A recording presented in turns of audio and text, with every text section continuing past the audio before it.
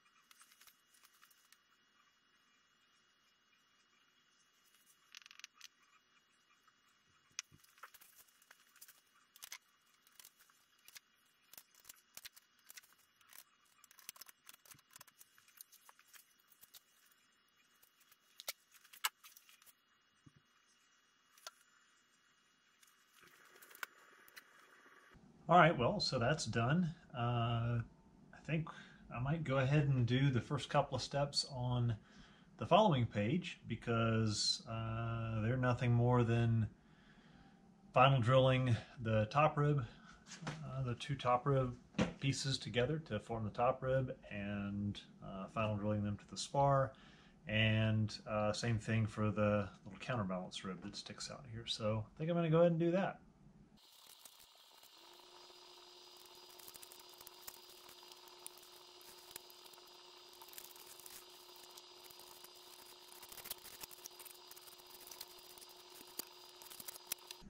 So the plans don't mention uh, deburring this this rib yet. Uh, they also don't mention trying to flute it uh, to make it flat or uh, any of those kinds of steps.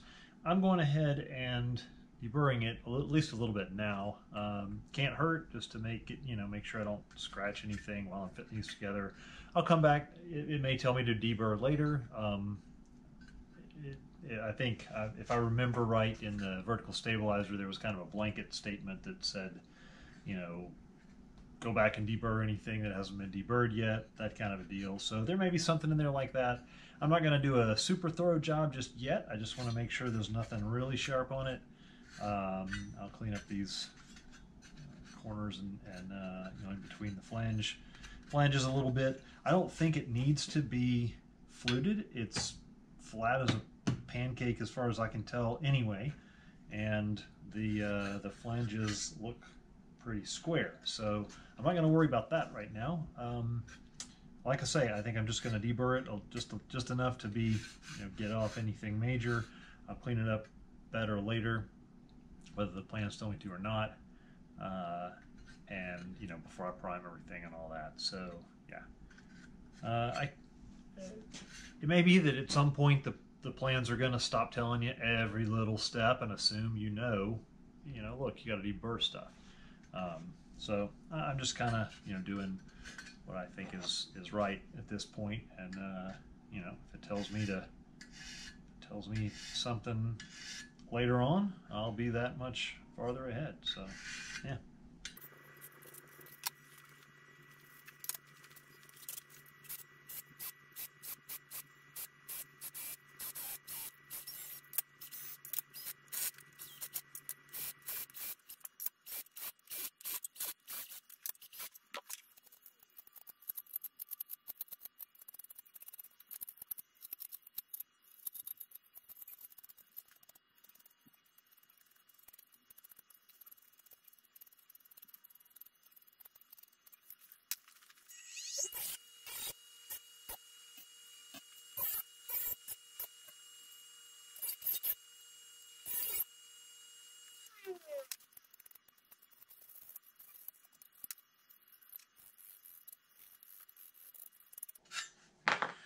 All right, so that's pretty good there.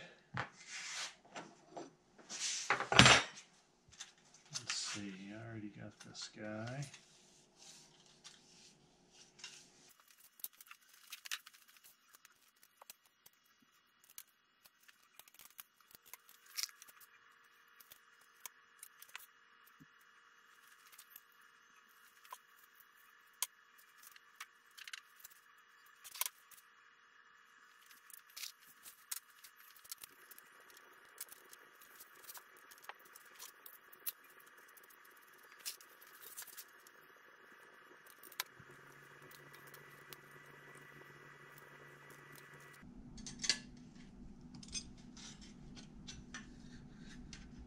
Almost screwed up. Almost put it on there upside down.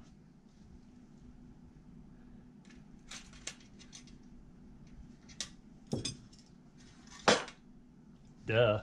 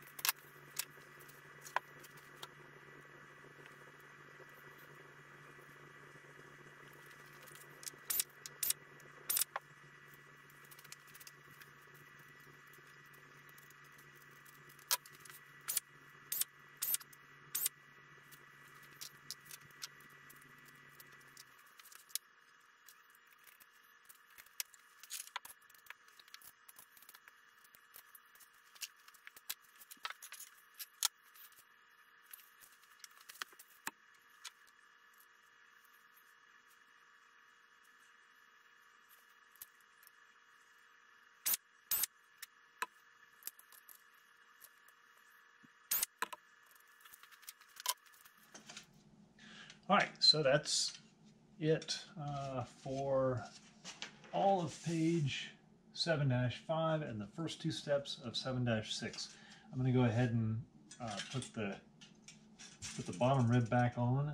I may take some of these clecos out because it looks like they interfere with uh, that guy there.